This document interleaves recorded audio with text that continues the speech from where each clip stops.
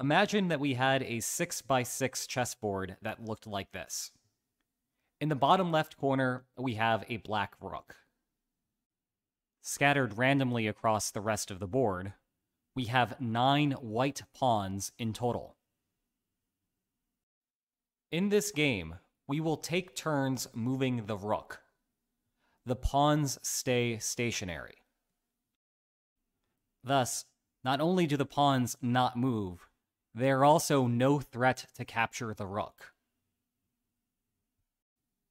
The rook's moves are restricted. It can either go up or right with every move. It can't go back down, and it cannot go to the left. Other than that, the rook moves normally, and for these purposes, that means it cannot jump over pawns. We will keep playing until there are no more legal moves. At that point, the person that has captured the most pawns is declared the winner. Here's the puzzle. You go first. Design a strategy that guarantees that you capture the most pawns. And to be clear, there is exactly one opening move that will allow you to do that. Any other opening move will not allow you to win the game. And while you think about that, check out some of these cool books that I've written. I have a couple of hints for you. First is that the best way of solving this game is through process of elimination with that first move. Second, you only need to fully solve out two of the opening moves to verify that there is a single winning strategy. That might not seem like much of a hint, but if you think about what it implies, it will substantially reduce the workload.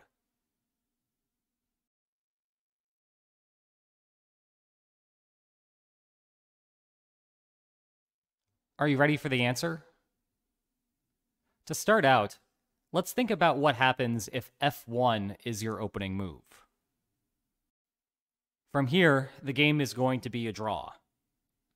There are only two pawns left to capture, f4 and f6.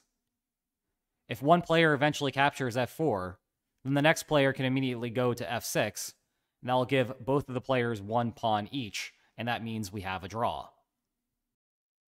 This has an important implication for a bunch of other moves. In fact, we can eliminate the entire first row as a winning strategy for player 1.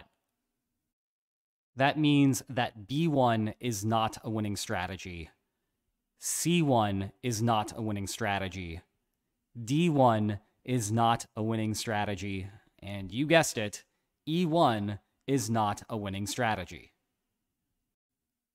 Can you see why that's the case without fully solving out the next player's strategy? The key here is that any opening move to the first row allows the next player to move to f1. And as we just saw a moment ago, if the rook is in f1, the game is going to end in a draw. Thus, if you move the rook to b1, c1, d1, or e1, then the next player either can figure out a way to win the game, or at the very worst for him, move the rook to f1 and draw the game. Either way, that means that you are not winning. And as such, you cannot move the rook anywhere in the bottom row and expect to emerge victorious.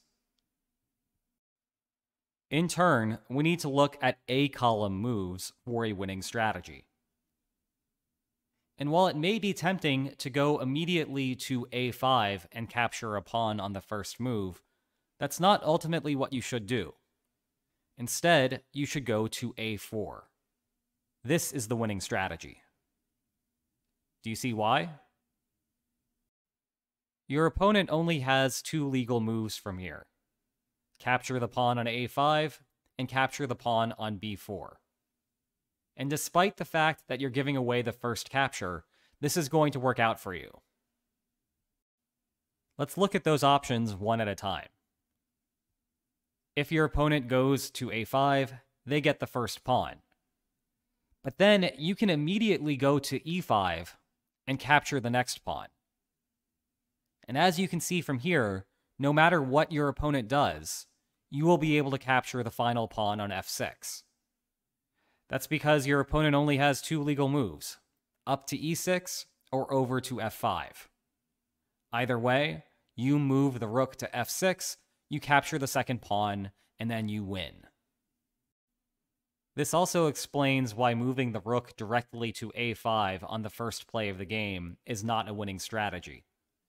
If you were to do that, then your opponent moves to e5, and now the situation has flip flopped, where your opponent is guaranteed to get the second pawn.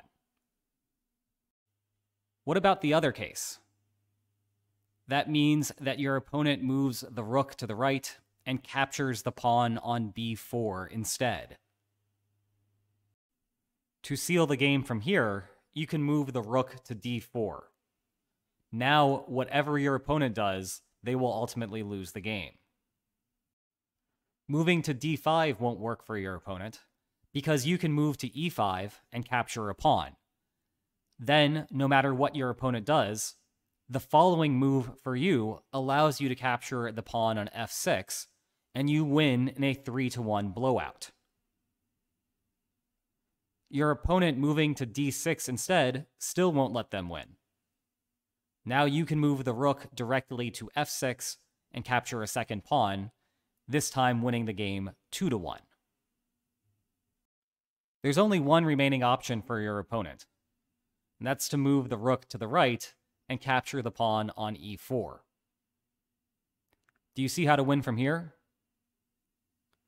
It goes back to that diagonal move. You go up to e5 and capture one pawn, and then no matter what your opponent does, for example, if they went to e6, you capture the remaining pawn and you win 3 to 2. Interestingly, all of that work also tells us why the two remaining opening moves cannot win the game. We haven't yet explicitly discussed why a2 can't win, or why a3 can't win. And yet, we've done all of the work that we need to to be able to explain why. Do you see how that's the case? It's basically the same argument that we made with the bottom row. If you were to move to a2 or a3, then your opponent can just move to a4 on the next move.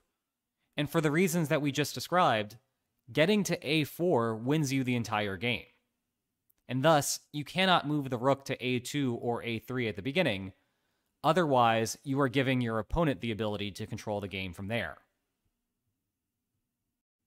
Did you figure this one out? Let me know in the comments. And if you enjoyed this video, Please like, share, and subscribe, and I'll see you next time. Take care.